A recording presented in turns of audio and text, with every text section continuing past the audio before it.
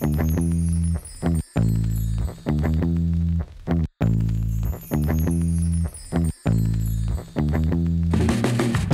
and welcome to Lauren's Travels. Today I am in Holland, Michigan. Very excited to bring you around. We started our morning visiting the famous De Boer's Bakery and Restaurant. We got there before noon and many pastry items were gone, but we brought back some apple cider donuts and this tasty pastry I can't pronounce. For lunch, we drove over to Big Lake Brewing.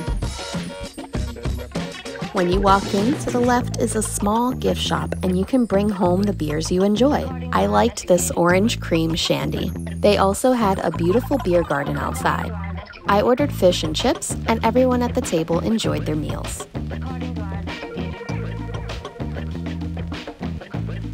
We ended up doing a wine tasting at Warner's too, but I didn't film too much there. Was a little tipsy. We're now in downtown Holland and we're gonna check out some stores. We've been walking by and one place I saw on the drive in is called the Apothecary. I have to show you this wall because it caught my attention. They have this beautiful mural on the outside here. This downtown area is really nice. Lots of old buildings with stores on the bottom. I'm loving it. It's beautiful weather out today. Inside these stores were some cute Holland and non-Holland related things, but when I went to Cherry Republic nearby, I did pick up some cherry peach cobbler jam.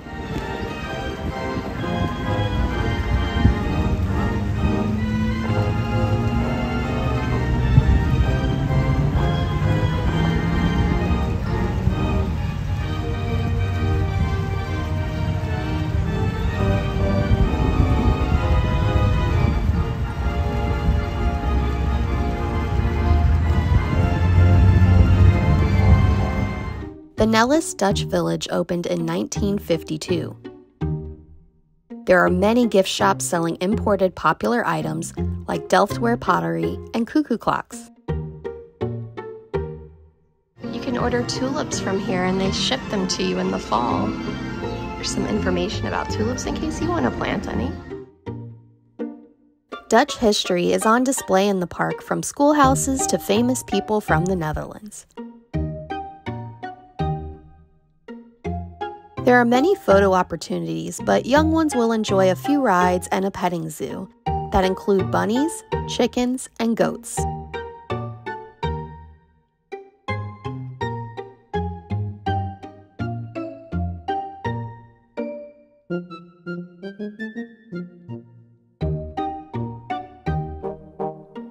The Golden Angel sits in the middle of the park. This is a street organ that's been around since 1908.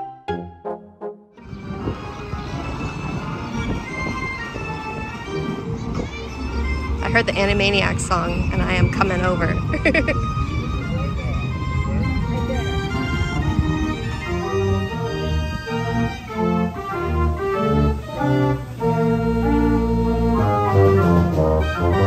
We decided to drive over to Centennial Park, which is right in Holland, and there's a special tribute to the Wizard of Oz here, so let's go check that out.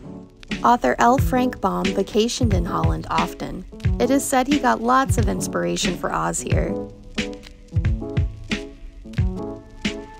This beautiful park is right before reaching downtown Holland, where the shops I visited were. One last thing I wanted to do on this trip was get my nose pierced.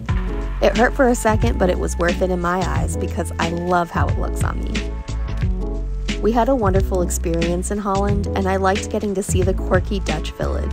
I enjoyed crossing off another theme park on my visit list, but if you have another one that's quirky and fun like this, let me know down below.